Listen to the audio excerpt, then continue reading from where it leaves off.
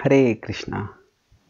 Just as bigotry can blind emotionally, ideology can blind intellectually. We all have probably met people who are prejudiced, bigoted, biased, and if say they are biased against a particular group of people, a particular race, a particular religion, a particular nation, a particular community, then they just maybe they have had bad experiences with some people from that community, and that is the uh, way they filter everyone and they presume, presume that everybody belonging to that group must be like that. So some groups are labeled as selfish, some people groups are labeled as stingy. Now it's not that everybody in that group is like that, but that's how uh, bigotry works. Now usually when people are bigoted, it is because they have had some probably negative emotional experiences.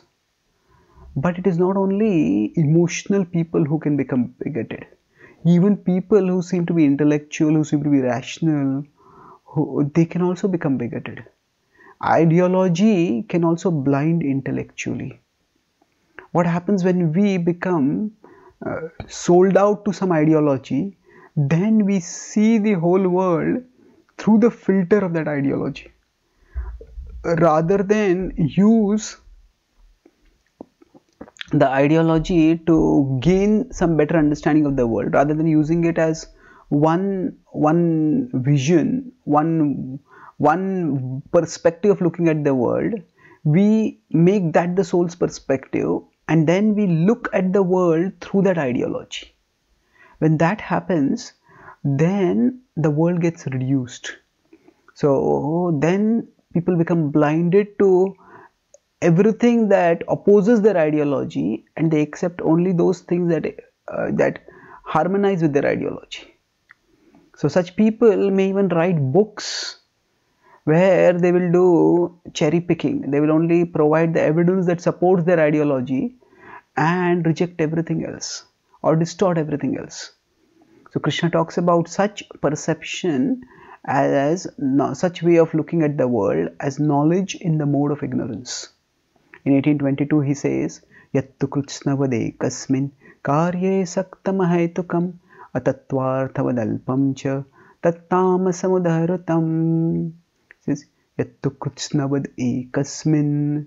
That if one considers one thing to be everything, karye saktam ahaitukam without any considering any cause and effect one becomes irrationally obsessed with only one one thing. Atattvarthavadalpam without considering the complete reality, without one gets attached to a fragment of reality, then that is knowledge in the mode of ignorance. So, ideology, especially ideological obsession, ideological brainwashing, that happens when we let ourselves be so fixated with the ideology that it blinds us to everything else. So when our consciousness expands, and at that time we can see various ideologies for what they are. The world is irre irreducibly complex, and every ideology is a tool by which we try to make the complicated reality manageable. But reality, reality transcends every ideology, and this is because reality ultimately reflects uh, Krishna's omnipotence. Krishna's infinity is reflected in many ways in the complexity of reality, even material reality. So, those who are devoted to Krishna, they don't become devoted to ideologies, but they remember that the ultimate purpose is Krishna.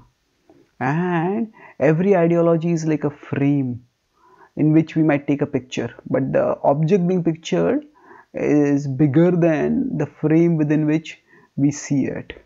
And devotees remember stay devoted to krishna not to any ideologies. And thus those who are devoted can avoid the blinding effect of ideologies. Thank you. Hare krishna